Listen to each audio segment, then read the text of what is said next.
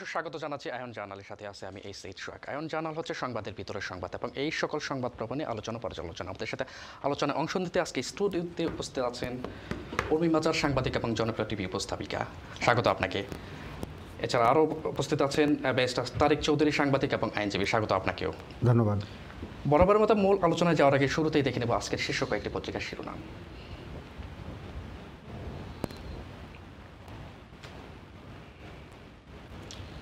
দৈনিক যুগান্তর পুরাতন কিছু অলাভজনক আখ্যা দিয়ে কেজি দরে বিক্রি হচ্ছে উনিশ নৌযান।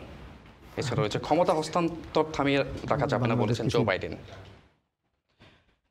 দৈনিক ইত্তেফাক যুক্তরাষ্ট্রের পরিস্থিতি কি জটিল হচ্ছে? পেন্টাগন ব- বসানো হচ্ছে ট্রাম্পের বিশ্বস্তদের। বন্ধ রাখা হয়েছে ক্ষমতা হস্তান্তর প্রক্রিয়া পরাজয় স্বীকার না করা বিব্রতকর বলেছেন বাইডেন। বাংলাদেশ বাংলাদেশ প্রতিদিন করোনার দ্বিতীয় ঢেউ ধাক্কা কীভাবে মোকাবেলা করবে বাংলাদেশ?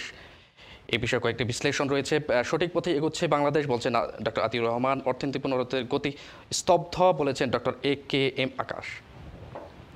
এছাড়া রয়েছে, প্রমাণ মেলেনি মার্কিন নির্বাচনে ভোট জালিয়াতে। ট্রাম্পের আচরণে বিব্রত পরিস্থিতির সৃষ্টি, বলেছেন বাইডেন।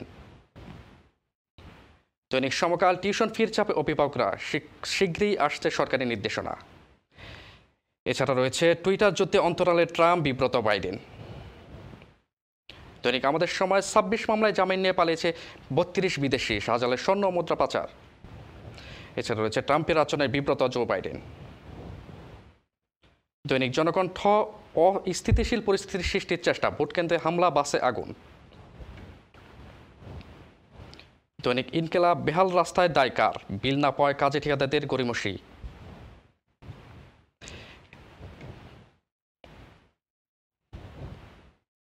দৈনিক নয়াদিগন্ত আচমকা নয় বাসে আগুন। কেউ হতাহত হয়নি সন্দেহজনক কয়েকজনকে আটক? দৈনিক মানব মানবকণ্ঠ ফের নাশকতায় আগুন নয় বাসে রাজধানীর বিভিন্ন সড়কে ঘটেছে এসব ঘটনা। জড়িতদের গ্রেপ্তারে অভিযান আটক দশ। এছাড়া রয়েছে মামলা এড়াতে কৌশলী ট্রাম্প। জর্জিয়ায় ঘুট পুনর্গণনা হবে। এই ছিল কয়েকটি পত্রিকার প্রধান প্রধান শিরোনাম। আমি চলে যাচ্ছি মূল আলোচনায়। আমি শুরুতেই আসতে যাচ্ছি আহ, উর্মি মাজার আপনার কাছে। আমি যে বিষয়ে আসতে চাচ্ছি আপনাদের পত্রিকার অনেকগুলো শিরোনাম গুরুত্বপূর্ণ কয়েকটি শিরোনাম ছিল যেমন ভ্যাকসিন তারপরে হচ্ছে বাংলাদেশের যে উপনির্বাচন হলো ঢাকা আঠারো এবং সিরাজগঞ্জের। সেটাকে কেন্দ্র করে কয়েকটি সংঘর্ষ এবং ঢাকাতে বাসে কয়েকটি কেউ বলছে সাতটি কেউ বলছে নয়টি কেউ বলছে ছয়টি বাসে আগুন দেওয়া হয়েছে। তো এই সব বিষয়ে আমি আসব। তার আগে আমি যে ভ্যাকসিনের যে বিষয়টি গত সোমবার যে বায়োনটেক এবং ফাইজারের একটি ভ্যাকসিন যেটা মানবদের নব্বই পার্সেন্ট কার্যকর বলে দাবি করা হয়েছে। তো এই ভ্যাকসিনটা যদি আসে, তাহলে এটা এটা কত, আমাদের জন্য যেহেতু আমরা দীর্ঘদিন ধরে একটি শঙ্কার মধ্যে কোভিডের মাঝে বসবাস করছে প্রায় সেই এক বছর হতে চলেছে প্রায়। তো এটা কতটুকু আশার সংবাদ বলে আপনি মনে করেন? আশার সংবাদ তো অবশ্যই। মানুষ যখন এত অন্ধকারের মধ্যে থাকে তখন ছোট্ট আলোই কিন্তু অনেক আশা দেখাতে পারে নিশ্চয়ই। আশার সম্পদ অবশ্যই। তবে আজকে একটু মানে রিসার্চ করে যেটা আমি দেখলাম যে আসার পাশাপাশি আমাদের সাবধানতাটাও কিন্তু অবলম্বন করতে হবে। আমরা যদি মনে করি যে ভ্যাকসিন খুব নিকটবর্তী অবস্থানে আছে আমাদের জন্য।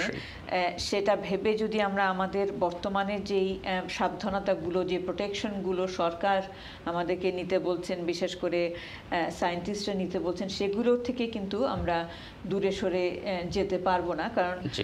আশার পাশাপাশি মানে আশা যেটা আমার মনে হয় যে যেটা একটা ভালো দিক যে এই স্পাইক প্রোটিন নিয়ে যে ভ্যাকসিনটা আসছে বাজারে বা আসার কথা বলা হচ্ছে ফাইজার যে ভ্যাকসিনটার কথা বলছে সেটা একটা নিশ্চয়ই একটা নতুন দিগন্ত খুলবে। শুধুমাত্র এই কোভিড নাইন্টিনের জন্য না, আজকে আমি পড়ছিলাম যে এই স্পাইক প্রোটিন দিয়ে ভবিষ্যতে হয়তো আরও অন্যান্য রোগেরও প্রতিরোধ গড়ে তোলা সম্ভব, ক্যান্সারের প্রতিরোধ গড়ে তোলা সম্ভব স্পাইক প্রোটিন ব্যবহার করে। সুতরাং এটা ডেফিনেটলি একটা আশার কথা। পাশাপাশি নব্বই ভাগও যদি কাজ করে কোনো ভ্যাকসিন সেটাও একটা আশার কথা। কিন্তু আপনি যখন আশার কথা বললেন আশার পাশাপাশি সাবধানতার কথাটাও। আসে যেমন যে এই আপনারা নিশ্চয়ই দেখেছেন যে এই ভ্যাকসিনটা ট্রান্সপোর্ট করতে মাইনাস এইটটি ডিগ্রিজে। এটাকে ট্রান্সপোর্ট করতে হবে তো মাইনাস এইটটি ডিগ্রিজে ট্রান্সপোর্ট করাটা হয়তো উন্নত দেশের জন্য সুবিধাজনক কিন্তু আমাদের মানে বিশেষ করে স্বল্পোন্নত দেশগুলোর জন্য এই এই পরিস্থিতিতে ট্রান্সপোর্ট করাটা হয়তো খুবই ডিফিকাল্ট হবে সেটা একটা ব্যাপার আছে। সেক্ষেত্রে সংখ্যাটা কিছুটা থেকে যায়। সংখ্যাটা থেকে যায় এবং এই যে ভ্যাকসিনটা এলো এই ভ্যাকসিনটা যারা অসুস্থ বা- বা ধরুন কোভিড নাইন্টিন যাদের মধ্যে আছে তাদের হয়তো আর প্রসারিত হবে না এটা ইমিউন হিসাবে কাজ করে কিন্তু যারা অ্যাসিমটোমেটিক মানে যাদের কোনো সমস্যা নেই আমরা হয়তো জানি না যে আমার কোভিড আছে। আমি যদি ভ্যাকসিনটা না পাই তাহলে ভ্যাকসিনটা যদি আমি পাইও সেটা কোন পর্যায়ে গিয়ে আমার শরীরে কাজ করবে? এই সমস্ত কিছু কিছু প্রশ্ন কিন্তু থেকেই যাচ্ছে। জি। আরেকটা বিষয় এই ভ্যাকসিনের যেটা ওভার সিক্সটি ফাইভ যারা তাদের যে এটা কার্যকর হবে কিনা এই জিনিসটা কিন্তু তারা ক্লিয়ার করেননি এখনও। হ্যাঁ সেই তো বললাম যে বেশ কিছু প্রশ্ন কিন্তু এখনও যে কোন বয়সে এটা কার্যকর হবে কিংবা সব বয়সে এটা কার্যকর হবে কিনা কিংবা এই ভ্যাকসিনটা একবার নিলে এটা স্থায়িত্ব কতদিন হবে? এটা কি প্রতি বছর বছর আমাদের নিতে হবে? নাকি একবার নিলে আমরা তিন বছরের জন্য কিংবা পাঁচ বছরের জন্য আমরা প্রোটেক্টেড এই তথ্যগুলো কিন্তু আমরা এখনও জানি না। সুতরাং সেটা জানা পর্যন্ত অপেক্ষা করতে চাই। নিশ্চয়ই। ধন্যবাদ আপনাকে। আমি চলে যাচ্ছি ব্যারিস্টার তারিক চৌধুরী আপনার কাছে। যে প্রসঙ্গ- প্রসঙ্গে কথা বলছিলাম যে ভ্যাকসিনের যে বিষয়টি এটি কতটুকু আশার বাণী যে ফাইজার এবং বায়োনটেকের যে ভ্যাকসিনটি আসছে? ধন্যবাদ। আশার বাণী তো অবশ্যই কারণ এক বছর যাবৎ শুরু- পুরো বিশ্ব ব্যর্থ হচ্ছে এবং প্রতিদিন আমরা মৃত্যুর সংবাদ শুনতে পাচ্ছি। ব্রিটেন ইউরোপের মধ্যে হাইয়েস্ট অফিসিয়ালি পঞ্চাশ হাজার পাস করেছে। ইদানিং বাঙালি কমিউনিটিতেও কিন্তু মৃতের সংখ্যা সংবাদ পাচ্ছি আমরা। অনেক মানুষ অসুস্থ। সুতরাং এটা অবশ্যই আশার সংবাদ এবং শুধুমাত্র আমরা বলব না সকলেই বলছেন সায়েন্টিস্টরাও বলছেন কিছু কিছু লেখিং রয়েছে। ইনিশিয়ালি এই পর্যায়ে আশা সংবাদ এই জন্যই যে অ্যাটলিস্ট এর আগেও এটা ছাড়াও আমরা প্রথম ধাপে যে ধরনের সমস্যার মুখোমুখি হয়েছিলাম শেষ মানে শেষ তরঙ্গ বা দ্বিতীয় তরঙ্গে সেকেন্ড ওয়েভে কিন্তু ডাক্তাররাও বলছেন তারা কিছুটা হলেও মানে টেকনিক শিখেছেন কীভাবে বাঁচাতে হয়। এছাড়াও এই নতুন ওষুধ ছাড়াও রেমিডিসিভার কিছু কিছু ঔষধ মানে মৃত্যুর হার প্রায় ওয়ান থার্ড কমিয়ে আনছে। সুতরাং এটা যদি নাইনটি পার্সেন্ট কার্যকর হয় খুবই আশাবাদী অন্য কোনো ওষুধ না হলেও এটা আমাদের স্বাভাবিক জীবনে ফিরিয়ে আনতে সহায়তা করবে। কারণ এটা যদিও আমরা জানি না যে কীভাবে কাজ করবে কীভাবে বডিতে রিয়েকশন করবে মানে বিশেষ করে এল্ডারলিদের জন্য। কিন্তু ইয়াঙ্গার জেনারেশন প্লাস অন্য যারা রয়েছে সুতরাং ইয়াঙ্গার জেনারেশনও কিন্তু একদম পঁয়ষট্টির নিচে যারা রয়েছে সংখ্যা কিন্তু একদম কম নয়। হ্যাঁ বিশাল একটা সংখ্যা। আমরা জানি যে ব্রিটেনে তেরো দিনের বাচ্চা থেকে শুরু করে একশো ছয় বছর ছয় বছরের বৃদ্ধ মারা গিয়েছেন। সুতরাং সকল মানে বয়স কিন্তু কাভার করেছে। সুতরাং অ্যাটলিস্ট যদি আসে, আমরা স্বাভাবিক জীবনে ফিরে আসতে পারব এবং সরকার অলরেডি আসার মানে এজন্যই যে অন্যান্য প্রক্রিয়ায় যখন অ্যাপ্রুভাল আসে সেই ক্ষেত্রে কয়েক মাস সময় লাগে এবং এটা এক মাসের মধ্যে রেগুলেটরি অ্যাপ্রুভাল এসে যাবে এবং অলরেডি কীভাবে বাস্তবায়ন করা হবে সারা ইংল্যান্ডে অলরেডি প্ল্যান হয়ে গেছে আর কি। কীভাবে আমাদের যে ঔষধটা ডিস্ট্রিবিউশন যেটা হবে যেটা বেলজিয়ামে হবে আমি কালকে পড়ছিলাম সেজন্য জি। বলতেছি বেলজিয়াম থেকে বাহাত্তর ঘণ্টার মধ্যে যেখানে আসবে সেখানে নিয়ে আসতে হবে বিভিন্ন মানে লোকালি যেভাবে আসবে আর কি। সুতরাং already ten million dose already আমাদের মানে অর্ডার হয়ে গেছে এই বছরের মধ্যে আসার জন্য এবং তারা আগামী বছরে এই এই যে যৌতুক ইয়েতে করে তারা আগামী বছর এক দশমিক তিন বিলিয়ন ডোজ তৈরি করবে সরকারকে। শুধুমাত্র এটা না এই ওষুধ তো মানে সরকার অর্ডার দিয়েছেই। সুতরাং আরও বিভিন্ন প্রায় তিনশো মিলিয়ন বিভিন্ন কোম্পানির ঔষধ মানে ডোজ যেগুলি আছে এখন প্রায় তেরোটার মতো ট্রায়াল চলছে। এইটাই ফার্স্ট আরও যে এর মধ্যে আসবে না তা নয়। আর বাহাত্তর ঘণ্টা কীভাবে আসবে তারা প্রতিদিন প্রায় বিশটার মতো ফ্লাইট ফ্লাইটে বিভিন্ন জায়গায় আসবে ইংল্যান্ডে পৌঁছার পরে এনএইচএস দায়িত্ব নেবে তারপরে বিভিন্ন জায়গায় রিমোট সেন্টার করবে স্পোর্টস সেন্টার বা অন্যান্য জায়গায় দিয়ে যাবে এবং র্যান্ডমলি সকাল আটটা থেকে রাত্রে আটটা পর্যন্ত মানে ভ্যাকসিনেশন দেওয়া হবে এবং এটা মানে উইকেন্ডও চলবে ব্যাংক হলিডেও চলবে হাজার হাজার লোক হেলথ সেক্রেটারি যেটা। ঘোষণা হ্যাঁ, দিয়েছেন হ্যাঁ। আরেকটা বিষয় আমি আপনার কাছে জানতে চাচ্ছি সেটি হচ্ছে যে এটাকে বলা হয়েছে যে মাইনাস এইট্টি ডিগ্রি সেলসিয়াস তাপমাত্রার মধ্যে এটাকে রাখতে হবে। তো সেক্ষেত্রে এই মাইনাস এইট্টি ডিগ্রিতে রাখা কি সকল ক্ষেত্রে কি সম্ভব হবে কিনা? এখন যেটা হচ্ছে, যেটা এখন পর্যন্ত সরকারের যে পরিকল্পনা, সেটা হচ্ছে এইটি ডিগ্রি বলা হলো ইনিশিয়ালি লসে দেখা হয় যে সেভেন্টি পর্যন্ত রাখা যাবে এবং এটা ওপেন করা যাবে না মানে মানে অ্যাবাভ টোয়েন্টি ফাইভ ডিগ্রি এবং আবার টোয়েন্টি ফোর আওয়ার্সের মধ্যে খোলার পরে এক মিনিট মতো খুলতে হবে মানে খোলা যাবে আবার বন্ধ করে দিতে হবে। সুতরাং আচ্ছা। তারা বিশেষ একটা ফ্লাস্কের মতো ফ্লাস্ক না একটা কন্টেইনের মতো করতেছে যেখানে এক থেকে পাঁচ হাজার ডোজ রাখা যাবে মাইনাস সেভেন্টি ওই ওই উৎপাদিত স্থল স্থলেই সেখানে কন্টেনারে প্রবেশ করানো হবে। তারপর লোকালি সেন্টার মানে ইউকেতে সব এনএইচএসকে ইউজ করা হবে মানে এটা স্টোর করার জন্য আর কি। সুতরাং সেইখান থেকে আনার পরে স্টোর থেকে ইয়ে আনা। সুতরাং স্পেশালাইজ কিছু, এই যে কন্টেইনার তৈরি করা হচ্ছে যে কন্টেইনারগুলোর মাধ্যমে একদম সেন্টারে লোকাল সেন্টার বলে এবং এক একটা কন্টেইনার বা এক একটা নেটওয়ার্কে নশো পঁচাত্তর জনকে ডোজ দেওয়া হবে এবং এটা থ্রি উইকস পার্ট দেওয়া হবে। এটার ওষুধের আরেকটা জিনিস নেগেটিভ বা পজিটিভ যাই বলেন টেন ডেইজের আগে কিন্তু মানে এখন পর্যন্ত যেটা বলছে টেন ডেইজের আগে এটা কিন্তু রিয়েকশন বোঝা যাবে না কোন দিকে কাজ করতেছে না করতেছে। সুতরাং এটাও একটা আহ, মানে চিন্তার বিষয় যে আমি কি হব না হব। আরও কিছু কিছু প্লাস রয়েছে যেটা এখন যেটা হচ্ছে আমরা হয়তো এখন সরকার যেটা বলছে যে প্রথমে এলডারলি পাবে সেকেন্ড মানে কেয়ার হোম ওয়ার্কাররা পাবে তারপরে আশি সত্তর পঁয়ষট্টি সেইভাবে আস্তে আস্তে নেমে আসবে। সুতরাং এই যে ক্লাসিফিকেশন করেছে যারা পাবে সময় আসার কথা যেন বলছে মানে ডিস্ট্রিবিউশন যেটা বলছেন আমাদের এর মধ্যে অনেক সময় এই যে শুধুমাত্র গত সপ্তাহে বলা হয়েছে পাবলিক মানে এটা পাবলিশ হয়েছে যে আমরা আশাবাদী রেজাল্ট পেয়েছি থ্রি স্টেজ থ্রিতে এখনই তারা প্ল্যান করেছে যে পাঁচ মাস লাগবে সিক্সটি ফাইভ পর্যন্ত। এই পাঁচ মাস মানে up to age sixty five পর্যন্ত ডিস্ট্রিবিউট করতে পাঁচ মাস সময় লাগবে। এবং এই পাঁচ মাসের মধ্যে অনেক কিছু বের হয়ে যাবে ইনশাআল্লাহ। সেজন্য আমরা খুবই আশাবাদী। আচ্ছা। এটা প্লাস অন্যান্য রাশিয়া একটা বের করছে প্লাস আরও তেরোটার মতো প্রজেক্ট আছে। সুতরাং এর মধ্যে হয়তো ভালো বের হতে পারে এবং প্লাস মানে পুরোপুরি হান্ড্রেড পার্সেন্ট হলেও এরা যারা করতেছে তারা হয়তো ইনগ্রিডিয়েন্ট দিয়ে সেটাকে হান্ড্রেড পার্সেন্ট প্রোটেক্টিভ করে ফেলতে পারে। সুতরাং আপনি আমি আপনার কথা মাঝে আমি একটি কল নিয়ে নিচ্ছি। হ্যালো কল আসসালামু আলাইকুম। হ্যালো কল আসসালামু আলাইকুম। ওয়ালাইকুম সালাম যে ভ্যাকসিন বেরোয় জি। এই সেই ভ্যাকসিন একই ভ্যাকসিন কি সারা পৃথিবীতে সবাই গ্রহণ করবে? আর আরেকটা বলতেছি আমার ডান হাত আমার বাম হাতে একটা টিক বলতে দিন। আম- আম- আমরা বোধহয় কলারকে হারিয়ে ফেলছি। হ্যাঁ যাই হোক। ধন্যবাদ আপনাকে। আমি চলে যাচ্ছি আহ, উর্মিমা স্যার আপনার কাছে। ভ্যাকসিনটা যেমন আমাদের জন্য একটা আশার বাণী নিশ্চয়ই তো তারই পাশাপাশি আমরা দেখছি যে যুক্তরাজ্যে গত অক্টোবর থেকে যেটা গভর্নমেন্টও আশঙ্কা করেছিল যে ক্রমান্বয়ে কোভিড আক্রান্তের সংখ্যা বাড়ছেই। তো আজকে সর্বোচ্চ সংখ্যা কথা প্রায় চৌত্রিশ হাজারের কাছাকাছি লোক আক্রান্ত হয়েছেন। এবং মৃত্যুর দিক থেকে ইউরোপের সর্বোচ্চ তো সে যেহেতু গত পাঁচ তারিখ থেকে গত পাঁচই নভেম্বর থেকে যুক্তরাজ্যে প্রায় নন এসেন্সিয়াল সবগুলো এবং অনেক অফিস এগুলো বন্ধ রাখা অর্থাৎ লকডাউন করে রেখেছে। তো বলা হয়েছে যে ডিসেম্বরের দুই তারিখে পুনরায় এগুলো ওপেন করা হবে। তো সেক্ষেত্রে এইভাবে যে আক্রান্তর সংখ্যা বাড়ছে মৃতের সংখ্যা বাড়ছে দুই তারিখে কি সম্ভব হবে কিনা ডিসেম্বর দুই তারিখে পুনরায় ওপেন করা? সেটার উত্তর তো আমার জানা নেই। তবে আমি যে আমরা এই অনুষ্ঠান শুরুর আগে যেটা আমি তারেক ভাইকে বলছিলাম যে আমাদের প্রাইম মিনিস্টার কিন্তু বলেছেন যে lock this current lockdown is gone and তারই quote will end on second of December কিন্তু পাশাপাশি আমরা অন্যান্য মন্ত্রীদের বিশেষ করে স্বাস্থ্যমন্ত্রী তিনি কিন্তু ইঙ্গিত দিয়েছেন যে দু তারিখে আমরা দু তারিখে তারা রিভিউ করবে। আচ্ছা।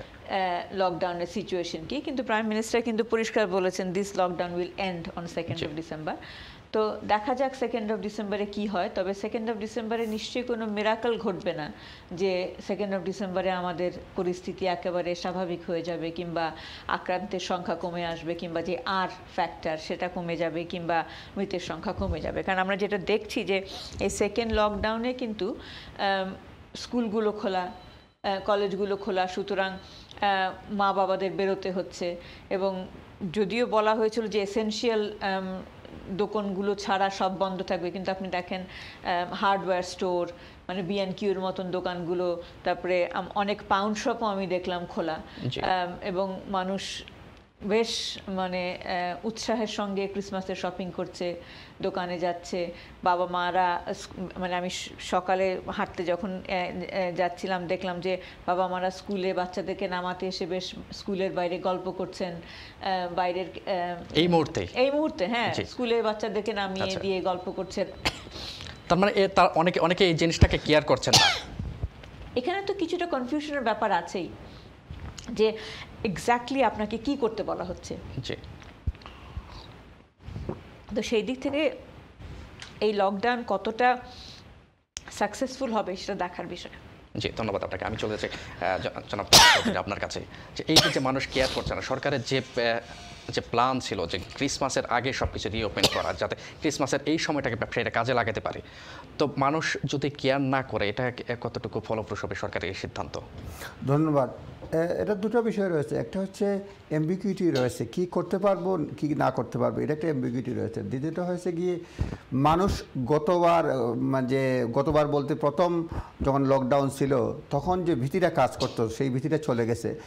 সুতরাং এটা একটা বিষয়। জি। দ্বিতীয়টা হচ্ছে এরা- গতবার কিন্তু এই যে প্রথম লকডাউনের সময় সব কিছু বন্ধ ছিল। এখন এমন একটা বিষয় রয়েছে অনেকগুলি গ্রে এরিয়া রয়েছে কী করতে পারবে কি করতে পারবে না।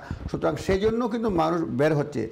স্কুল খোলা এবং ইম্পর্টেন্ট ওয়ার্ক কোনটা আপনার এসেন্সিয়াল ওয়ার্ক বা আপনি মানে খাবার কিনতে যাবেন হসপিটাল রুগী দেখতে যাবেন বা আপনি কাজে যাবেন এগুলিতে কিন্তু যে কেউ যে কোনো কিছু বলতে পারে। প্লাস এইবার আগের বার একবার যাওয়ার ইয়ে ছিল এখন আপনি কয়েকবার যেতে পারবেন আপনি ব্যায়াম করতে হলে।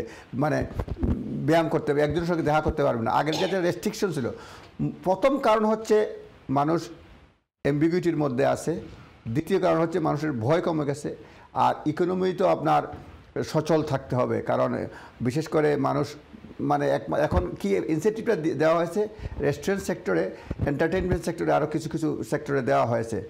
সুতরাং এটাও একটা ফ্যাক্টর যদিও ফার্লো স্কিমে লোকজন পয়সা পাবে প্লাস সেলফ এমপ্লয়েডদের জন্য মানে ফেসিলিটিস আছে। মূলত মূল কারণ অ্যাম্বিগুইটি মানুষের ভয় কমে গেছে। আর সবাই বেশিরভাগ জানে যে এটা তেমন শাস্তি নাই যদিও ফেস মাস্ক বা অন্যান্য আছে কিন্তু বাইরের তেমন শাস্তি নাই। কেউ যদি দল বাইর হলে এটা তো কারফিউ না। সুতরাং মেইনলি ডিপেন্ড করে যে আইনটা যে আপনার এই মানুষ নিজে কতটা সচেতন মানুষ কতটা চিন্তা করতেছে যে যে বাইর হলে আমার কি ক্ষতি হতে পারে? আইন দেখিয়ে তো না। মানে আর আমাদের আমি সহই বলব সকলেরই একটা একটা ধারণা যে আমাদের আশেপাশে কেউ মারা না গেলে আমরা ভয় পাই নাকি? এটা মেন্টালিটি আমাদের হয়ে গেছে যে আমার পরিচিত কেউ মুরব্বী যদি না মারা যান বা ইয়ং কেউ যদি না মারা যান বা অসুস্থ না হন বা আক্রান্ত আক্রান্ত না হন আমরা একটা ড্যাম কেয়ার ভাব সকলের হয়ে যায়। যদিও আমি সবসময় মেনটেন করার চেষ্টা করি আমরা সকলেই চেষ্টা করি কিন্তু আমি জাস্ট বললাম একটা সাধারণ একটা মনোভাব সকলের যে এটা এই যে ভয়টা যে এটা আক্রান্ত হলে পরেই আমি হয়তো চোদ্দ দিনের মধ্যে পনেরো দিনের মধ্যে আমি মারা যেতে পারি বা আক্রান্ত হতে পারে আমার স্বাভাবিক জীবনযাত্রা ব্যাহত হতে পারে। এই যে বিষয়গুলো এই যে ফিলিংসটা সেইগুলি নাই একেবারেই নাই। তারপরেও আমি নিজেই বলব যে কমিউনিটিতে দেখবেন গত এক সপ্তাহে যাবত অনেক লোক কিন্তু অসুস্থ। অনেক লোক মানে আমরা আমি- আপনার কথা মাঝে আমি একটি কল নিয়ে জি। নিচ্ছি। কল আসসালামু আলাইকুম। জি কল আসসালামু আলাইকুম। জি আপনার পরিচয়তে আপনার দ্বারা প্রশ্নটি করুন। আমি আলী লন্ডন থেকে কইলাম জি, আমার প্রশ্নটা কি? ইমিগ্রেশন সম্বন্ধে। জি। ইমিগ্রেশনের প্রোগ্রাম না। এটা তো এটা তো মূলত ইমিগ্রেশনের প্রোগ্রাম না এটা হচ্ছে জার্নাল প্রোগ্রাম তো ইমিগ্রেশন আমাদের ইমিগ্রেশন সংক্রান্ত প্রোগ্রাম আছে সেই প্রোগ্রামে আপনি কোশ্চেনটি করতে পারবেন। ধন্যবাদ আপনাকে। জি তারেক ভাই যে প্রসঙ্গে কথা বলছিলাম। না যেটা আমরা আলোচনা করছিলাম যে এখন কেন মানুষ বেশি মানতেছে না? এই মূল কারণ হচ্ছে যে এনফোর্সমেন্টটা পুলিশ সেভাবে স্ট্রিক্টলি করতেছে না আর কি। আর এভাবে সম্ভব না যে আপনার প্রতিজনকে জিজ্ঞেস করে আপনি কেন বাইরে হয়েছেন হয়েছে। এটা নিজের মধ্যে। সরকারের দিক- নির্দেশনা দিতে পারেন আইন হ্যাঁ, করতে পারেন বাট সচেতনতা আমাদের নিজের মধ্যে। ধন্যবাদ একটু আপনাকে। অ্যাড করি যে যেটা তারেক ভাই বললেন যে আমার মনে হয় অ্যাম্বিগুইটিটা একটা বড় কারণ জি। বিশেষ করে আহ, পুরো লকডাউন প্রসেসটার ব্যাপারে। আপনি যদি দেখেন যে যেটা তারেক ভাই বললেন যে স্পেশালি এই অফিসিয়াল স্ট্যাটিস্টিক্স ওয়াচডগ তারা কিন্তু খুব রিসেন্টলি একটা ওয়ার্নিং ইস্যু করেছে গভর্নমেন্টের উদ্দেশ্যে যে আমরা যদি এবারে যে লকডাউনটা হলো স্যাটারডেতে যে প্রেস কনফারেন্সটা হলো সেখানে আপনি যদি মনে করেন যে বেশ কিছু স্লাইড কিন্তু দেখানো হয়েছে। অনেক স্ট্যাটিস্টিক্স ব্যবহার করা হয়েছে অনেক ডেটা ব্যবহার করা হয়েছে। এবং মানে পুরো প্রেস কনফারেন্সটাই খুব ডেটা বেস ছিল। আমি ডেটা সমৃদ্ধ ছিল বলব না অনেক ডেটা ব্যবহার করা হয়েছে। কিন্তু অনেক ডেটা ব্যবহার করা মানেই যে সেটা দর্শক বা আমাদের জনগণ খুব ভালোভাবে নেবে সেটা কিন্তু না। আমাকে যদি খুব সহজভাবে বলেন যে এই জিনিসটা এটা বিষ এটা খেলে তুমি সাথে সাথে মারা যাবে। এটা কিন্তু আমার জন্য খুব সোজা বোঝা। কিন্তু আপনি যদি আমাকে অনেক কিছু মানে মানে খুব পেঁচিয়ে টেচিয়ে বলেন যে আলটিমেটলি কিন্তু এমন একটা সিচুয়েশন হবে যে তুমি বাঁচতেও পারো না বাঁচতেও পারো অমুক তমুক আমি কিন্তু তখন তখন কেয়ারলেস হয়ে তখন কেয়ারলেস না আমি তখন কোন তথ্যটা আমার ভেতরে ঢুকেছে এতক্ষণ শোনার পরে সেটা কিন্তু আমি নিজেই বুঝব না। সুতরাং সেই দিনের আমরা যদি চিন্তা করি যে অনেক ডেটা ব্যবহার করেছে কিন্তু অ্যাকচুয়ালি জনগণ সেই তথ্যগুলো থেকে কতটুকু জনগণ বুঝতে পেরেছে সেটা যদি গভর্নমেন্ট একটু সাবধান হতো যে এত তথ্য দিয়ে তো আমার লাভ নাই। আমার কথা হচ্ছে যে এই ভাইরাস ডেডলি এই ভাইরাসের সংস্পর্শে আসলে আপনি মারা যেতে পারেন এই এই এই এই জিনিস আপনার হতে পারে এই দেখুন হাসপাতালের এই সিচুয়েশন। খুব কম তথ্য দিয়েও কিন্তু খুব সমৃদ্ধ তথ্য দেয়া যায়। খুব বেশি তথ্য দিয়ে যে মানুষকে কনফিউজ করে তাতে কিন্তু খুব একটা লাভ হয় না। জি। অর্থাৎ সেখানে সেখানে তথ্যবহুল ছিল বাট স্পেসিফিক ছিল না অনেকগুলো বিষয়। তথ্য ছিল না। জি, তথ্যবহুল জি, হলে যে সেটা ভালো হয় ঠিক না সেটা ঠিক না। জি ধন্যবাদ। ব্যস্ত তারেক চৌধুরী আপনার কাছে আসতে চাচ্ছি। সেটি হচ্ছে যে আমরা দেখেছি যে গত তেসরা নভেম্বর যুক্ত ইউএসএর যে ইলেকশন জাতীয় নির্বাচন অনুষ্ঠিত হয়েছিল সেখানে বেসরকারি ফলাফল অনুযায়ী জো বাইডেন বিজয়ী হয়েছেন। কিন্তু ক্ষমতা হস্তান্তর প্রক্রিয়াটা নিয়ে একটু গলদ বেঁধেছে সেখানে সাবেক প্রেসিডেন্ট ডোনাল্ড ট্রাম্প বর্তমান প্রেসিডেন্ট ডোনাল্ড ট্রাম্প তিনি এখনও ক্ষমতা হস্তান্তর করতে চাচ্ছেন না তিনি আইনের আশ্রয় নেবেন। অনেকগুলো বিষয় রয়েছে তো এই বিষয়টাকে আপনি কীভাবে দেখছেন? আমরা বিরতিতে যাব তার আগে আমরা এই বিষয়টা শুরু করতে চাচ্ছি। ধন্যবাদ। এখন পর্যন্ত কিন্তু কোথাও তাদেরকে বিজয়ী ঘোষণা করা হয়নি। মিডিয়া অ্যানালাইজ করে বলছে উনি বিজয়ী হয়েছে এখন পর্যন্ত ওই যে নির্বাচক মণ্ডলী বা এই যে নির্বাচন কমিশন কোথাও কিন্তু বিজয় ঘোষণা করা হয়নি। এখন পর্যন্ত। মিডিয়া বলছে যে উনি জিতছেন। সুতরাং এখানেও কিন্তু মানে বলা হচ্ছে এবং মানে one of the main factors হচ্ছে গিয়ে কোভিড নাইন্টিন কোভিড কীভাবে হ্যান্ডেল করেছেন? আবারও অনেক কিছু বিষয় আছে। কোভিডটাও কিন্তু কোভিড অ্যান্ড ইকোনমি কীভাবে হ্যান্ডেল করেছেন? এবং এক জায়গায় হয়তো ডোনাল্ড ট্রাম্প বলেছেন যে কোভিডেও একটা ভূমিকা পালন করেছে। এখানে আরেকটা বিষয় বলতেছি, মনে হয়ে গেল জুনিয়র ডোনাল্ড ট্রাম্প বলেছেন যে, এই রেজাল্টের সময়ে কোভিড এই যে ভ্যাকসিনের অ্যানাউন্সমেন্টটা এটা ডুবিয়েছে সাসপিসিয়াস এটা নিজেই বলছেন এখানে। যাই হোক রেজাল্ট যেটা হয়েছে যে আমেরিকার হিস্ট্রিতে আমি একটু আগেই পড়ছিলাম আসার আগে দেখলাম যে কি আমেরিকার হিস্ট্রিতে রেকর্ড নাই যে নির্বাচনে হারার পরে কেউ অফিসার নেয় মানে মানে এটা রেকর্ড নাই। সুতরাং এটা এবারও হবে না। এক জায়গায় বিবিসি দেখলাম যে যে টিম যেটা ট্রাম্পের যে দাবি সেটা ভিত্তিহীন। ট্রাম্পের দাবি ভিত্তিহীন না অনেকগুলো বিভিন্ন ধরনের মানে অভিযোগগুলো আছে আমি দেখছিলাম। একটা পোস্টাল ভোটটাই না, না, একটা বড় অভিযোগ। পাঁচ সাত ধরনের অভিযোগ রয়েছে। একটা অভিযোগ হলো গিয়া আপনার যে কোভিড নাইন্টিন সিচুয়েশন যে, এর জন্য কিন্তু সিক্স ফিট দূরত্ব মিটার দূরত্ব রাখতে হবে। উনি বলছেন যে মানে এক একটা সেন্টারে বা এক একটা স্টেটে এক এক ধরনের অভিযোগ। অনেকটা আমার কাছে মনে হচ্ছে বাংলাদেশি রোগ আসে গেছে, বাংলাদেশি মতো রোগ। একটা হচ্ছে কোভিডের জন্য বলছে সিক্স মিটার যাবে না, বলছে আমাদের সিক্স মিটার কি টুয়েলভ মিটার দূরে আমার অবজারভাররা দেখতে পারে নাই, দেখতে পারে নাই। এটাও এক ধরনের এলিগেশনস হ্যাঁ? আরেক ধরনের এলিগেশনস ভ্যালিড ভোটারকে ভোট দিতে দেওয়া হয় নাই তাদেরকে বলে দেওয়া হয়েছে যে তোমরা ভোট দিতে পারবা না। এটা একটা এলিগেশন তারপরে আরেকটা অ্যালিগেশন আছে যে ওই অনেক জায়গায় উনি বলছেন যে এগুলি মানে সার্টিফাই করা যাবে না হ্যাঁ? কারণ এলাকা ওয়াইজ সার্টিফাই করতে হয় আর কি। এ ধরনের এটা একটা আছে। তারপরে আমি দেখলাম যে এই পোস্টাল ভোট পোস্টাল বুট তো একটা আছে যে যেগুলি উনি নিজেই বলতেছেন যে ইলিগেল বুট লিগেল করা হলো কেন এটা একটা ফ্যাক্টর এবং এটা মানে ওভারঅল সবাই যেটা জানে এবার যারা নীরব বিপ্লব হয়েছে বাইডেনের পক্ষে যে পোস্টাল ভোট বুট অ্যাবসেন্সিয়া এখানে আমরা বলি পোস্টাল বুট এখানে অ্যাবসেন্সিয়া বুট বলতেছে। তো এইখানে এইবার এত সংখ্যক ভোট পোস্টাল হয়েছে এটা কেউ কল্পনা করতে পারে না যে এই ভোটে ইয়ে হয়ে যাবে। আগে যদি জানতেন ট্রাম্প হয়তো এই প্রক্রিয়ায় যেতেন আর কি। আর ইন্টারেস্টিং যে অনেকে যারা পোস্টাল ভোট দিয়েছেন তাদেরকে কিন্তু আবার বলা হয়েছে যে তোমরা তোমাদের আইডি কার্ড নিয়ে এসে কনফার্ম করো যে তুমি সেই তুমি। হ্যাঁ। সুতরাং এবং মানুষ কিন্তু আবার ভোট দেওয়ার পরে লাইন দিয়ে তাদের আইডি আবার দেখিয়ে তাদেরকে প্রমাণ করতে হয়েছে যে আমি সেই ব্যক্তি যে ভোট দিয়েছি। জি ধন্যবাদ ধন্যবাদ আপনাদের দুজনকে।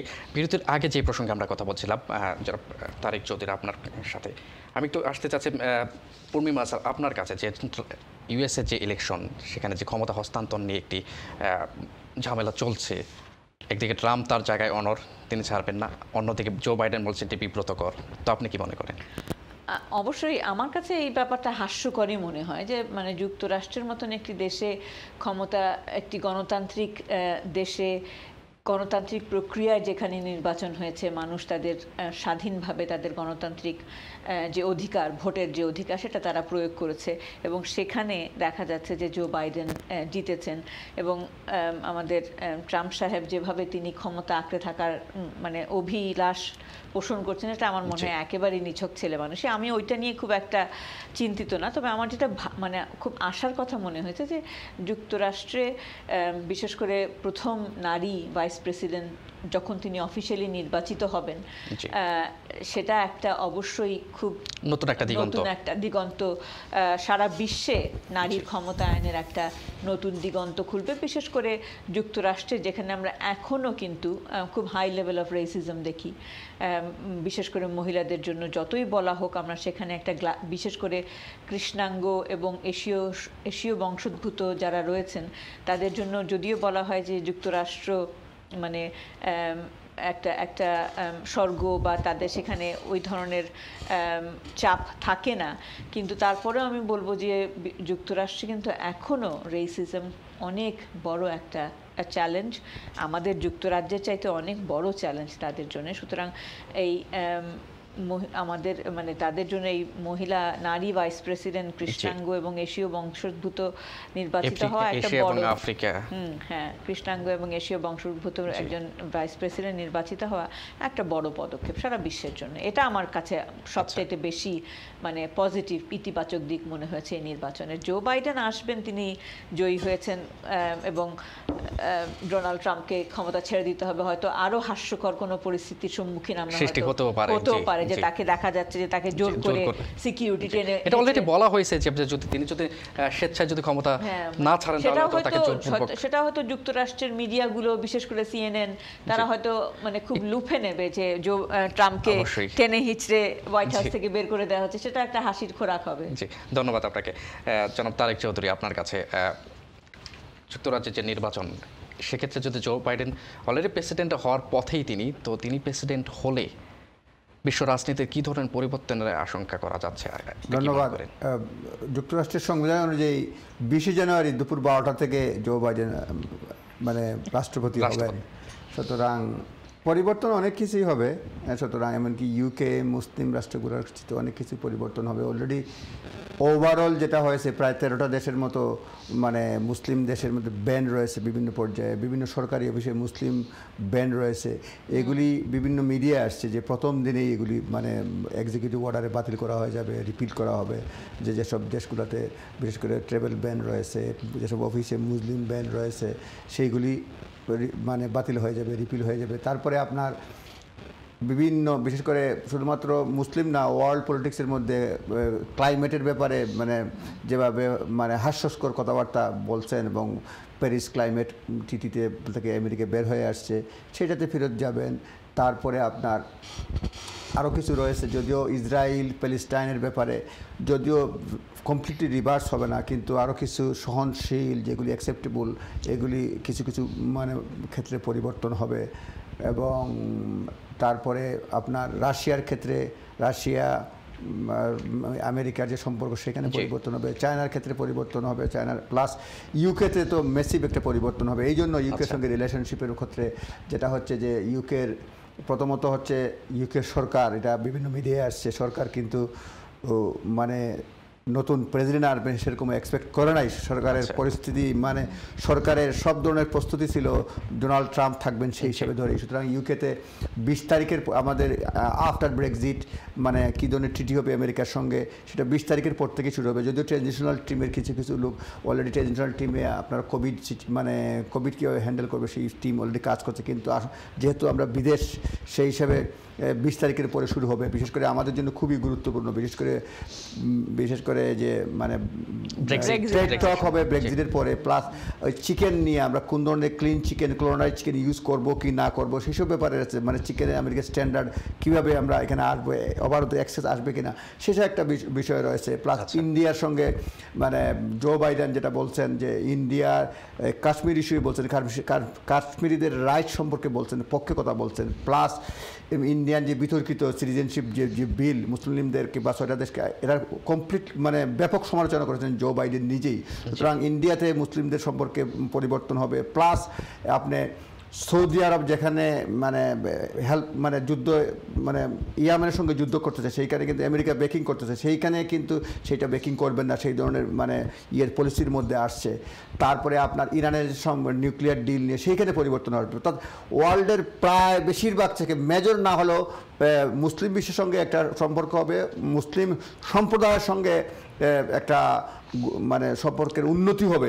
আমেরিকাতে আপনি দেখবেন সিএনএন একজন কন্ট্রিবিউটর বলছেন যে সেখানে যে ব্ল্যাক লাইফ ম্যাটার সেখানে বলছে ওই এই কান্ট ব্রিজ যেটা বলা হয়েছে। বলছে ডোনাল্ড ট্রাম্প আসার পরে রাষ্ট্রীয়ভাবে মানে এই যে এন্টি মুসলিম এন্টি ব্ল্যাক অনেক কিছু উস্কে দেওয়া হয়েছে। আচ্ছা। উনি বলছেন যে আগে আমরা যদি নিজে ফিল করি যে আমার রাষ্ট্রপ্রধান আমাকে সাপোর্ট করতেছে না আমাকে লাইক করতেছে না তখন কী ধরনের ফিলিং হবে? আমার শ্বাস বন্ধ হওয়ার মতো অবস্থা হবে। তো সেই সিচুয়েশনটা হয়েছে। কোনো জায়গায় কেউ যদি আমাকে অফেন্ড করে আমার আমার কালারের জন্য আমার রিলিজিয়নের জন্য কেউ প্রোটেকশন দেওয়ার কেউ নাই এই ফিলিংসটা থেকে আমরা বের হয়ে আসছি। সুতরাং ওভারঅল ইউ মানে ইউএস প্লাস মুসলিম ওয়ার্ল্ড সমগ্র বিশ্বে একটা ব্যাপক পরিবর্তন আসবে এবং আশা করি এবং জো বাইডেন নিজেও বলেছেন। প্লাস আপনার যেটা মানে ভাইস প্রেসিডেন্ট কামালা হারিস এটা তো এক্সাম্পল এবং অনেক মহিলা ইন্সপায়ার্ড হবেন। যে মহিলা বলছেন যে ছোটোবেলা উনিশ বছর বয়সে মানে আটান্ন সালে মা গেছিলেন মানে ইয়েতে এই তামিলনাড়ু থেকে আমেরিকায় গিয়েছিলেন। আর ছয় বছর পরে ওনার বাচ্চা হয়েছে এই যে প্রথম বাচ্চা তারপরে বাচ্চার নাম। কামালা পরে বাচ্চার নাম হলো মায়া তারপর যেটা হয়েছে যে কামালা বলছেন যে কামালা দেবী হারিস আমরা হয়তো বলতে পারি যে কমলা দেবী হারিস তামিলনাড়ু থেকে গেছে, পরে চেন্নাই তাদের বাসা ছিল, চেন্নাই আসা যাওয়া করতেন। সেই হিসাবে যেটা বলতেছিলাম, উনি বলছেন, দুটো কথা আমার খুব মনে লেগেছে, যে বলছেন যে আমি নিচে, বাসার নিচে খেলতাম আশেপাশে কালো দেখে আমার খেলা মানে আমার আমার সঙ্গে কেউ খেলতো না আমি কালো দেখে একটা। আর একটা কোট খুব ভালো লাগছে উনি বলছেন ইউ ডোন্ট কামালা হারিস যেটা বলছেন যে you don't need. Need anyone's permission to lead এটা কিন্তু অনেক বড় কথা মহিলাদের জন্য পুরুষদের জন্য। শুধুমাত্র আমেরিকা না ওয়ার্ল্ড ওয়াইড এইভাবে গিয়ে ইমিগ্রেন্ট গিয়ে এই পর্যায়ে আসা এটা বিরাট একটা কিছু। সুতরাং এটা সিগনিফিকেন্স মানে একটা সিগনিফিকেন্ট ঘটনা এবং মিনিংফুল মানে ঘটনা যে Kamala Harris becoming the vice president এবং নেক্সট প্রেসিডেন্ট হবে এটা- এখন থেকেই অনেকের জল্পনা কল্পনা চলে আসছে। এবং তার কামালা হ্যারিসের উম, ওই স্পিচটা যদি দেখেন it is really an inspiring speech শুধুমাত্র একজন মহিলা বলে না একজন কৃষ্ণাঙ্গ মহিলা বলে নয় তিনি যে ধরনের ভাষা ব্যবহার করেছেন যেভাবে খুব সাধারণভাবে খুব উদ্দীপনামূলক কথাবার্তা বলেছেন তাতে কিন্তু মানে শুধুমাত্র মানে যুক্তরাষ্ট্রের নাগরিকরা না সারা বিশ্বব্যাপী তার ভাষণটি মানে সমাদৃত হয়েছেন এবং খুব ইন্সপায়ার ইন্সপায়ারিং ছিল সবার জন্য। মানে মনে হচ্ছে যে শুধু যুক্তরাষ্ট্রের না সারা পৃথিবী যেন মনে হচ্ছে যে একটু মানে ডোনাল্ড ট্রাম্পের সময় পুরো যুক্তরাষ্ট্র না সারা পৃথিবী কিন্তু আমরা লজ্জিত ছিলাম যে যুক্তরাষ্ট্রের মতন একটি দেশে এই ধরনের নেতৃত্ব থাকতে পারে এটা আমরা আশা করিনি আচ্ছা। সুতরাং যখন ডোনাল্ড ট্রাম্পের বিদায়ে কিন্তু যারা অ্যাকচুয়ালি যারা একটু স্টেবল মাইন্ডের আমরা প্রত্যেকেই মনে করেছি যে আমরা হাফ ছেড়ে বেঁচেছি মানে এই ধরনের লিডারশিপ দেখে হাস্যকর একটা লিডারশিপ এবং অপ্রেসিভ একটা লিডারশিপ যেটা তারেক ভাই বলছিলেন যে যুক্তরাষ্ট্রের কালোরা মানে কৃষ্ণাঙ্গরা এবং যারা সত্যিকার ভাবে মানবিক নাগরিক ওই দেশের তারা প্রত্যেকেই কিন্তু নিজেদেরকে যুক্তরাষ্ট্রের নাগরিক ভাবতে লজ্জা পেয়েছেন যে আমরা নিজেরাই লজ্জিত। অনেকেই আমাকে আমাদেরকে বলেছেন যে আমরা নিজেরাই লজ্জিত বোধ করি যে আমাদের দেশের প্রেসিডেন্টের এরকম একটি একটি মূল্যবোধ। আচ্ছা। জি আপনার কাছে আরেকটি প্রশ্ন যে বিষয়ে কথা বলছিলাম ব্যারিস্টার তারেক চৌধুরীর সাথে যেটা আমেরিকার অবশ্যই বিশ্বের একটি ক্ষমতাধর দেশ। দীর্ঘদিন ধরে তারা নেতৃত্বের আসনে রয়েছেন। তাতে সারা বিশ্বের রাজনীতিতে, বিশ্ব রাজনীতিতে তাদের একটি মুন্সিয়ানা বলেন, প্রভাব বলেন কিংবা খবরদারি বলেন তাদের রয়েছে। তো সেক্ষেত্রে জো বাইডেন প্রেসিডেন্ট হওয়ার পরে বিশ্ব রাজনীতির কী ধরনের পরিবর্তন আসতে পারে বলে আপনি মনে করেন? তারেক ভাই অবশ্যই খুব সুন্দর করে বলেছেন। তো আমার মনে হয় বিশ্ব রাজনীতিতে তো পরিবর্তন আসবেই। মুসলিম রাষ্ট্রগুলোর সঙ্গে আমার মনে হয় একটা মোর সহনশীল অবস্থানে যাবে। একটা মিউচুয়াল আন্ডারস্ট্যান্ডিংয়ের পজিশনে যাবে। মানে ডোনাল্ড ট্রাম্প যে যেটা করছিলেন যে একেবারেই শিশুসুলভ আচরণ যে আমি যেটা বলব সেটাই হবে। অন্য রাষ্ট্রের যে একটা চাওয়া পাওয়া একটা বোঝাপড়ার ব্যাপার থাকে সেটা সেটা আমরা দেখিনি। যুক্তরাজ্যের সঙ্গে আমার মনে হয় একটা কঠিন সময় যাবে। কারণ আমরা দেখেছি যে আমাদের প্রাইম মিনিস্টার কিন্তু একেবারে খুব উৎফুল্লভাবে স্বপ্রণোদিত হয়ে খুব তাড়াতাড়ি যে জো বাইডেনকে শুভেচ্ছা জানিয়েছেন সেটা সেটা কিন্তু না। তিনি বেশ ধীরে সুস্থে বুঝে শুনে জো বাইডেনকে টেলিফোন করেছেন শুভেচ্ছা জানানোর জন্য। খুব খুব কম্পোজ ছিল তার সেই কনভারসেশন যেটা আমরা দেখেছি মিডিয়াতে তো। তিনিও নিশ্চয়ই মাপছেন যে কতটা ছাড় দেবেন তিনি যুক্তরাষ্ট্রকে এবং কতটা বন্ধুত্বের হাত বাড়াবে যুক্তরাষ্ট্র, যুক্তরাজ্যের প্রতি এবং তিনি কতটা নেগোসিয়েশনে যেতে পারবেন জো বাইডেনের সঙ্গে। আমার মনে হয় সেই হিসেব নিকাশ চলছে, বিশেষ করে ব্রেক্সিট এবং বিশেষ করে আয়ারল্যান্ড ইস্যুতে গুড। ফ্রাইডে ডিলের ব্যাপারে কারণ জো বাইডেন আপনার নিশ্চয়ই মনে আছে যে জো বাইডেন খুব পরিষ্কার করে বলেছেন যে ব্রেক্সিট ইস্যুতে যদি গুড ফ্রাইডে রেজলিউশনের কোনো রকম অবমাননা হয় বা আন্ডারমাইনিং করা হয় সেটা তিনি কোনোভাবেই ভালোভাবে নেবেন না তো সেটা একটা থ্রেট নিশ্চয়ই বরিস। জনসন ফিল করেছেন বাংলাদেশের সঙ্গেও হয়তো একটা ইন্টারেস্টিং সিচুয়েশন হতে পারে মুসলিম রাষ্ট্র হিসেবে বা মুসলিম অধ্যুষিত রাষ্ট্র হিসেবে বাংলাদেশের সঙ্গে হয়তো জো বাইডেনের সম্পর্কটা আরও ভালো হবে। কিন্তু পাশাপাশি আমরা যদি মনে করে রাখি যে হিলারি ক্লিন্টনের সঙ্গে বাংলাদেশের সম্পর্ক বিশেষ করে ডক্টর ইউনুসকে নিয়ে অবশ্যই তিনিও এই এই দলটির সঙ্গে ওতপ্রোতভাবে জড়িত। ওয়েদার হিলারি ক্লিন্টন কোনো বাংলাদেশের রাজনীতিতে বাংলাদেশকে কোনোভাবে কোণঠাসা করার চেষ্টা করবেন কিনা আহ, সেটা আমরা এখন পর্যন্ত জানি না। তবে আমার যেটা মনে হয় যে তারেক ভাই জো বাইডেনের যে ধরনের একটা ম্যাচিওর্ড লিডারশিপ আমরা দেখি তাতে আমার মনে হয় না যে হিলারি ক্লিন্টনের এই এই পার্সোনাল ইস্যুটি ডক্টর ইউনুসকে নিয়ে জো বাইডেন খুব একটা এটা দ্বারা প্রভাবিত হবে।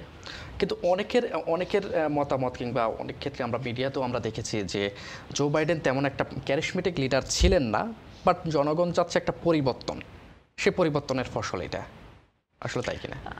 আমার মানে জো বাইডেন খুব ক্যারিসম্যাটিক লিডার ছিলেন এটাও কিন্তু আমি মানে খুব একটা আমি মানে আমি না আমি দ্বিমত করব যে সে কারণ জো বাইডেন কিন্তু খুব আপনি যদি ওনার রাজনৈতিক পথ চলাটা চিন্তা করেন খুব ইয়াং বয়সে তিনি নিশ্চয়ই। নির্বাচিত হয়েছেন এবং তিনি এত দিন ধরে রাজনীতিতে আছেন বারাক ওবামার সঙ্গে কাজ করেছেন এবং খুব সফল ভাইস প্রেসিডেন্ট হিসেবে তিনি কাজ করেছেন এবং খুব যে ক্যারিসম্যাটিক লিডাররাই যে সবসময় অ্যাকচুয়ালি আলটিমেটলি ভালো ফল দিতে পারেন, তাও কিন্তু না। সব কিছু একটা সার্কামস্টান্সেরও ব্যাপার আছে। বারাক ওবামার মতন এত ক্যারিজম্যাটিক একজন লিডার কিন্তু সেভাবে কিন্তু আনফর্চুনেটলি সার্কামস্টান্সের জন্য বারাক ওবামা কিন্তু আমেরিকাকে সে ধরনের খুব যে একটা আপনি চিন্তা করে দেখেন, খুব যে একটা স্ট্রং রিফর্ম আনতে পেরেছেন হেলথ বিলে উনি ওই ধরনের রিফর্ম আনতে পারেননি। আর বারাক ওবামার সময় মানে রেসিজমকে উনি সেভাবে নিপাত করতে পারেননি। এই যে ব্ল্যাক লাইভস ম্যাটার এখন মাথাচাড়া দিয়ে উঠছে। কিন্তু এই এই ঘটনা, আমরা তো বারাক ওবামার দুই টার্মে আমরা কিন্তু আশা করেছিলাম যে মানে যুক্তরাষ্ট্রে এই ব্ল্যাক ইস্যুটা রেসিজম ইস্যুটা তিনি দমন করতে পারবেন শক্ত হাতে। কিন্তু পারেননি। গান ক্রাইম এই গান গান ইস্যুটা আমরা আশা করেছিলাম যে বারাক ওবামা কিন্তু he was very anti gun policy কিন্তু আনফরচুনেটলি এই রিপাবলিকানদের জন্য এবং ডেমোক্র্যাট এবং রিপাবলিকানের সেই মানে দ্বন্দ্বের জন্য গান পলিসিটা কিন্তু বারাক ওবামা সেভাবে হ্যান্ডেল করতে পারেননি।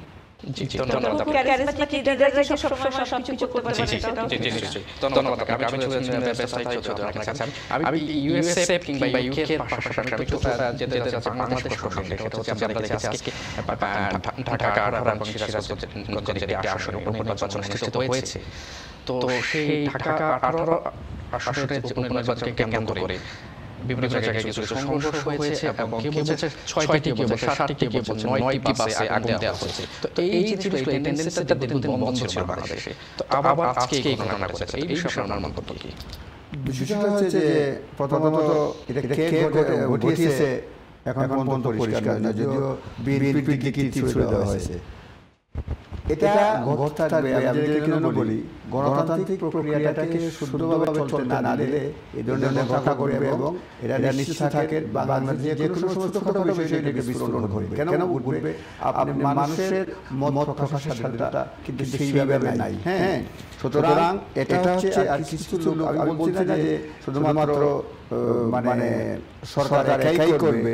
সরকারের যারা আওয়ামী লীগ দীর্ঘদিন করছে তারাও অনেক ক্ষেত্রে হ্যাপি না এই জন্য যে বিভিন্ন প্রক্রিয়ার কারণে আহ, মানুষ হ্যাপি না। সুতরাং আমি বলব যে গণতান্ত্রিক প্রক্রিয়া আরও পরিষ্কার করে দেওয়া উচিত।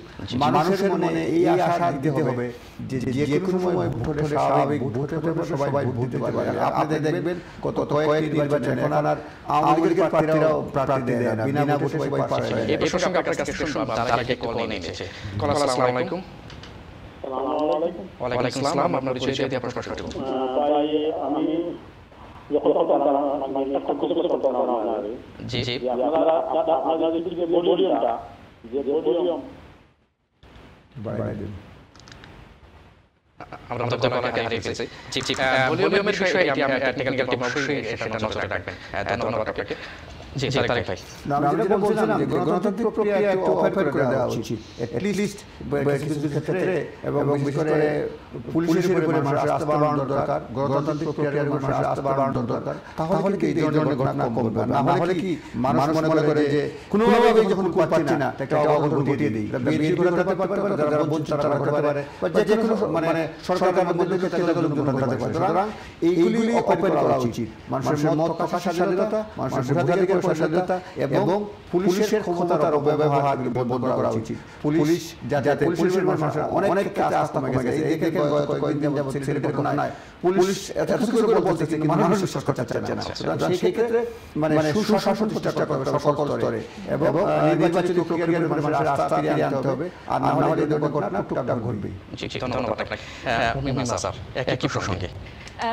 অবশ্যই মানে আপনি যে নিজেই বলেছেন যে আমরা এই বাস পুরানোর রাজনীতি থেকে কিছুদিন দূরে ছিলাম। অত্যন্ত আশার কথা জি। মানে আমার আলটিমেটলি মনে হয় যে এই যে বাসগুলো হলো ছটাই পুরু দুটোই পুরু এটা তো সরকারি সম্পত্তি। সুতরাং সরকারি সম্পত্তি পুরানোর মাধ্যমে দেশের জনগণের ক্ষতি করে কোন রাজনীতি এটা এই চর্চা থেকে আমাদেরকে যেভাবে ফিরে আসতে হবে এবং বর্তমান সরকারকেও দায়িত্ব নিতে হবে যে এই ধরনের রাজনীতির প্রশ্রয় যেন তারা না মানে বিএনপির দিকে আহ, অঙ্গুলি নির্দেশনা বলুন কিংবা দুর্বৃত্ত বলুন আহ, এটা অত্যন্ত দুঃখজনক যে এই পরিস্থিতিতে জনগণকে জনগণকে যেতে হচ্ছে এবং সরকারকেও এবারে আরও সজাগ হতে হবে। যেটা তারেক ভাই বললেন যে ভোটের উপর মানুষের আস্থা ফিরিয়ে আনতে হবে। যেভাবে স্বচ্ছ নির্বাচন হলে মানুষ নির্বাচনে যাবে ভোট দেবে।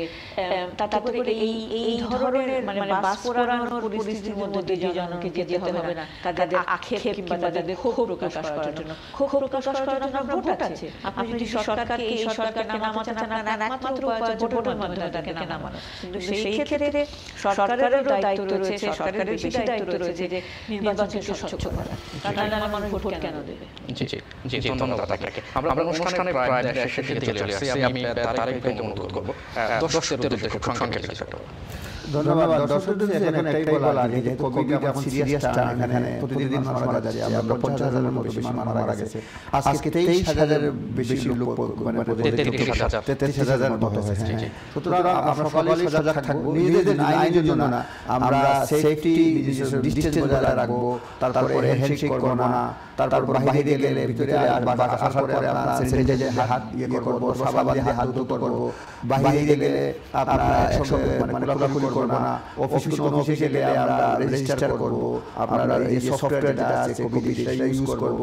আর প্লাস আরেকটা আমি সময় বলি কারও মানে কোনো বন্ধু বান্ধব থাকে বা বয়স্ক লোক থাকে দীর্ঘদিন খোঁজ না থাকে খোঁজ খবর নিন কীরকম আছেন অনেক মানুষ এখানে মানে রিগার্ডলেস বাঙালি বা একা একা থাকেন তারা কীভাবে আছে দেখছি এই খোঁজ নেওয়ার কারণে খুব প্রেট করতেছে তো। অনেক মানুষ কষ্ট পাচ্ছে কিন্তু আমরা বলতে যাই তার হেল্প কেউ নাই। এই বিষয়টা আমরা খেয়াল রাখব। আমাদের পাড়া প্রতিবেশী যাদেরকে চিনি আর কি রিগার্ডলেস বাঙালি ও বাঙালি এই বিষয়গুলো খেয়াল করব মুরব্বীদের খোঁজ খবর আর কি। এটাই আমার ধন্যবাদ আপনাকে। স্যার দর্শকদের উদ্দেশ্যে যেটা আপনি কিছু- দর্শকদের উদ্দেশ্যে আমি তারেক ভাইয়ের সাথে শুরু বলতে চাই যে অবশ্যই কোভিডের সাবধানতাগুলো অবলম্বন করব কিন্তু পাশাপাশি এই এক পুরো এক বছর ঘরে থেকে কিন্তু আমাদের প্রত্যেকেরই মানসিকভাবে আমরা প্রত্যেকেই বিধ্বস্ত। এবং এই মানসিক বিধ্বস্ততা কাটাবার জন্য আমরা অনেকেই হয়তো অনেক সময় না বুঝে অনেক কাজ করে ফেলি যেটা হয়তো পরে ভাবি যে অ্যাকচুয়ালি বন্ধুদের সঙ্গে না দেখা করলেই হতো বাইরে না গেলেই হতো বা লুকিয়ে কাজ না করলেই হতো। কারণ আমরা দেখি কিন্তু ফেসবুকে এখনও অনেকে জন্মদিনের পার্টি করছেন বিয়ে বিয়ের অনুষ্ঠানে যাচ্ছেন এবং বাইরে দেখা সাক্ষাৎ করছেন এগুলো আমার মনে হয় কিছু কিছু কিছু আমাদের ওই মানসিক বিধ্বস্ততার প্রকাশ মানসিকভাবে বিধ্বস্ত হয়ে যাচ্ছি এতদিন মানে মানুষজনের সঙ্গে না দেখা করে তো সেক্ষেত্রে যদি আমাদের এই মানসিক অবসাদ কিংবা মানসিকভাবে বিধ্বস্ত মনে হয় হাঁটতে যেতে পারি। এবং মানে আমার পরিবারের সঙ্গে পরিবারে যিনি আছেন এরকম মানে পরিবারের লোকজনের সঙ্গে হাঁটতে যেতে পারি আমরা একটু মানে পার্কে গিয়ে হাঁটলাম জানি ঠান্ডা তারপরে খোলা বাতাসে হাঁটা আর আপনার যদি একান্তই মনে হয় যে আপনি মানে বন্ধু বান্ধব ছাড়া কিংবা একেবারে আপনজন ছাড়া থাকতে পারছেন না আপনি আপনজনের সঙ্গে বাইরে যান। সোশ্যাল ডিস্টেন্সিং মেইনটেইন করে তাদের সঙ্গে হাঁটুন ছয় মিটার ডিস্টেন্স মেইনটেইন করে আপনি যে কোনো পার্কে গিয়ে ছয় মিটার ডিস্টেন্স মেইনটেইন করে আপনারা দুজন তিনজন হাঁটতে পারেন কোনো অসুবিধা নেই মাস্ক ব্যবহার করেন। সুতরাং মানে এটা মাথায় রেখে কি করে নিজেকে সাবধান রাখা যায় এবং নিজের থেকে অন্যকে সাবধান রাখা যায়। একটু মাথায় রাখলে আমার মনে আমরা প্রত্যেকেই ভালো ভালো থাকব।